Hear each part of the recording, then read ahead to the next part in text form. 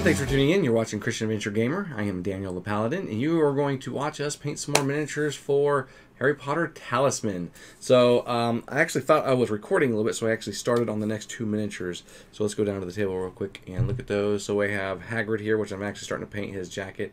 Painted his hands uh, and his face, um, but then I realized that the uh, OBS was not recording. So then I do apologize that you didn't need to see me that. do that, but... Um, it's okay, you haven't missed much. So I painted his belt as well.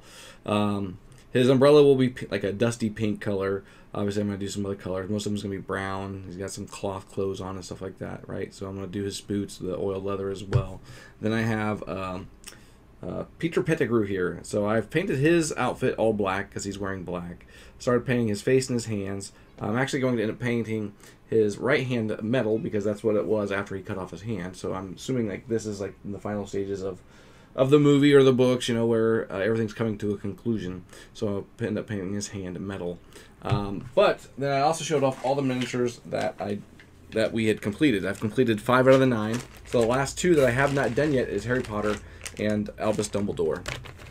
But um, here is the Dark Lord himself. Okay. All in his glory, getting ready to uh, murder somebody with a curse. And then I have um, Bellatrix Lestrange getting ready to uh, torture somebody because that's what she's into, right?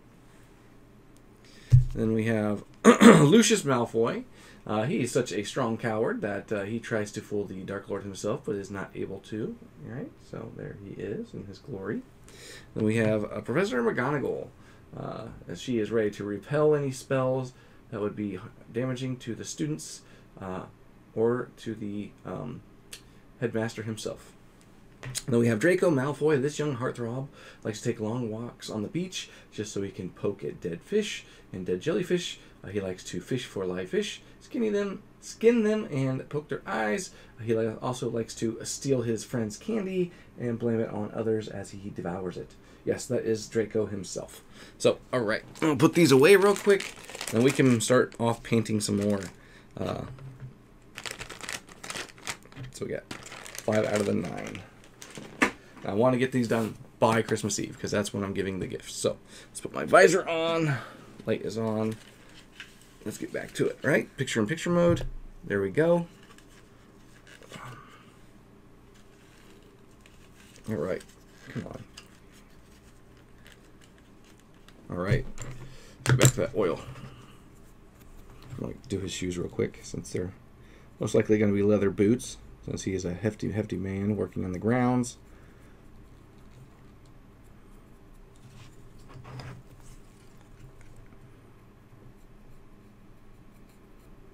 If I get it on his pants, that's going to be okay. Not worried about that. Just worried about getting that area.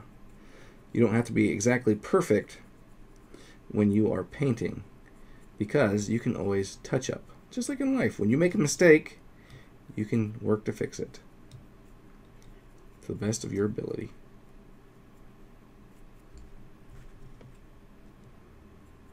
All right.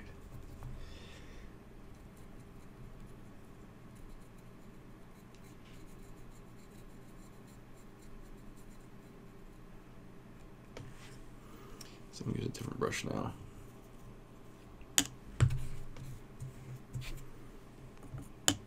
want something with a little longer bristles to get into these armpit and crevices and stuff. So let's use this one and get some more oil on there.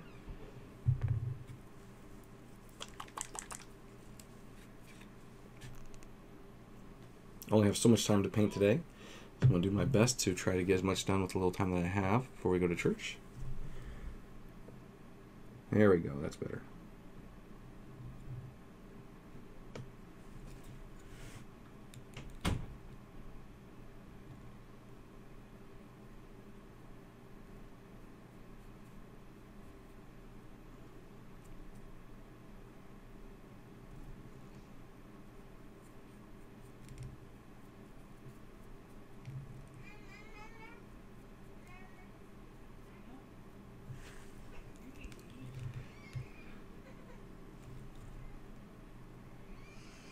trying to make sure I get into the armpit. Obviously, you can hear my daughter crying a little bit.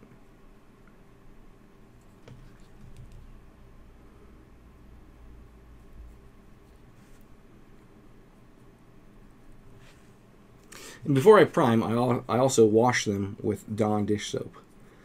Uh, make sure to get any of the uh, release uh, agent that they put in their molds to help get the miniatures out. You don't want that on your paint because your paint will come off eventually. So you want to take all the steps that you can to make sure that your paint will stick. Like I like using like the leather colors because when you put wash or dry brush on them, they really stand out. When I use wash on him, since he is all mostly brown, his hair is brown, his his jacket is leather.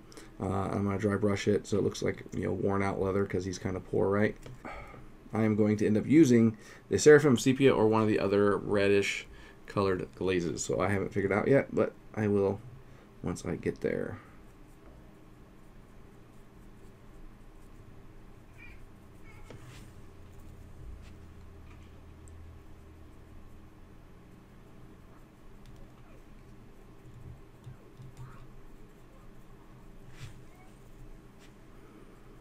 So do do do do.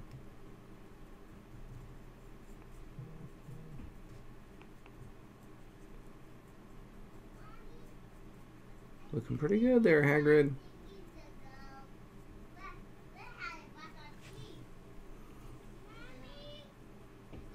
Right here, my kids talking, just on the other side of the room.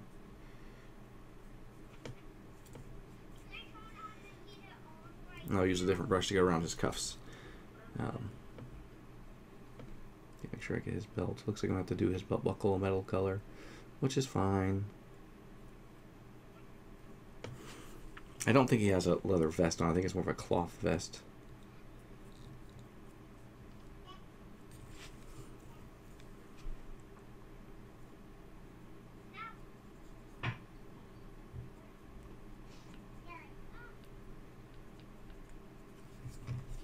Trying to get underneath his jacket to get the rim of it, you know.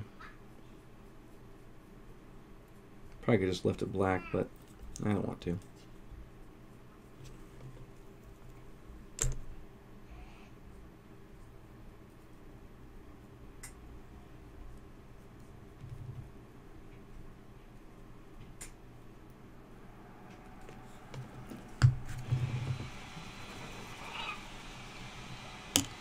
So let's find a different brush to get around his cuffs. I got this one here.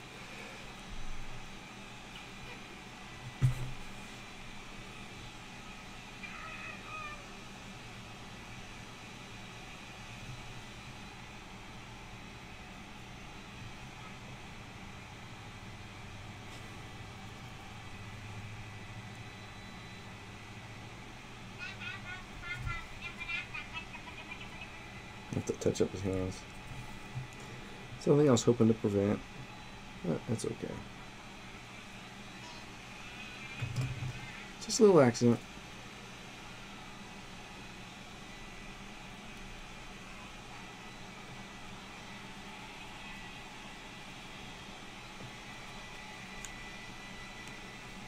Alright. So let's go back and touch up his hands.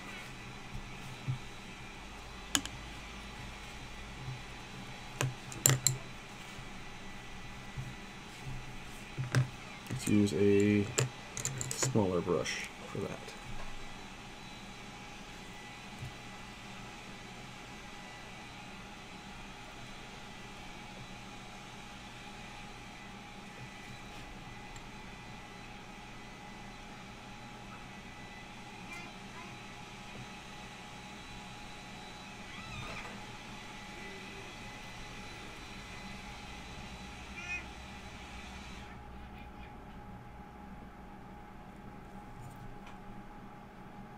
I think this brush is about dead. It looked okay, but then once I put that paint on it, man, it really frayed. So, hmm. goodbye, brush. Next. Now, brushes only last so long, so if you're going to start painting, expect to be buying multiple brushes. I buy them by the packs now. Because when you're in the middle of painting, you don't want to run out.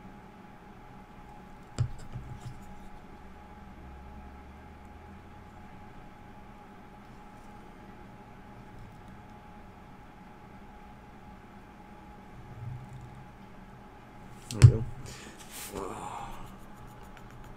Let's do Peter Pettigrew's hair now. So he's got kind of a reddish hair. I think I can use this orange red. I could also I have this uh, bright orange look like a more of a natural tone. A little too much there. That's okay though. I prefer Vallejo paints. So let's see if I can't touch up his his uh, cuff.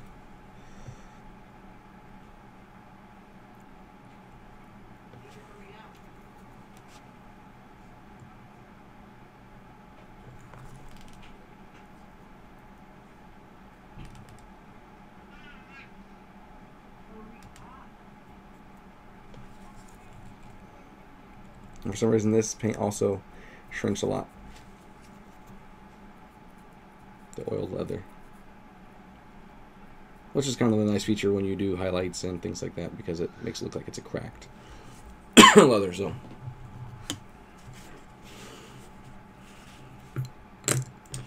Alright, Peter Pettigrew, your hair is going to be colored, sir.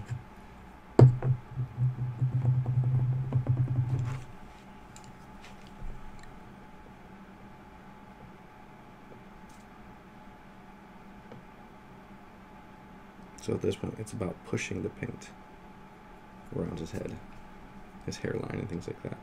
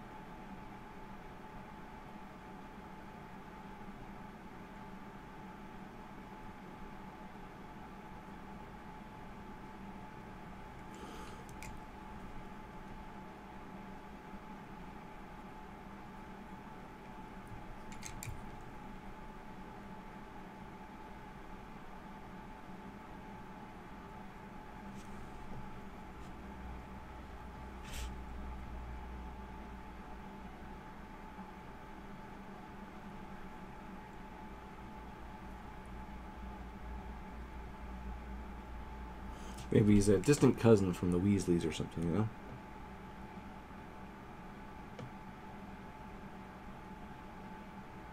The uh, cousin that shall not be named.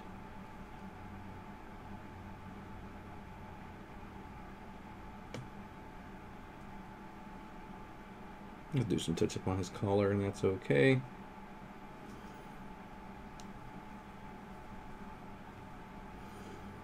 Not bad, not bad. And I'll probably use some of the same color to do his eyebrows with. So.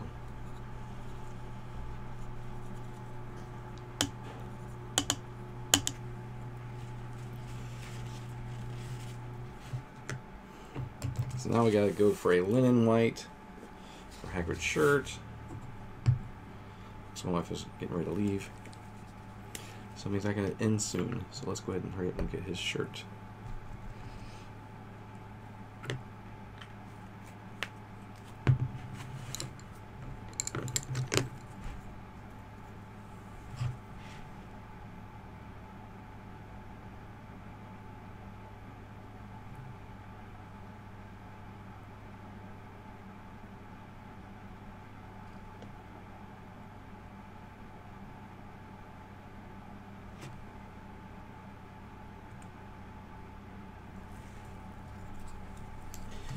About pushing the paint into those crevices.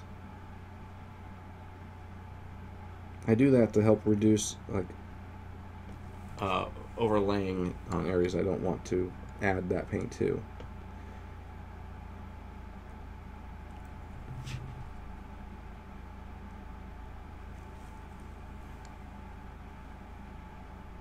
So that should be a good place to stop for right now. So hopefully you enjoyed this short video. Um, thanks for tuning in. I'll see you guys next time.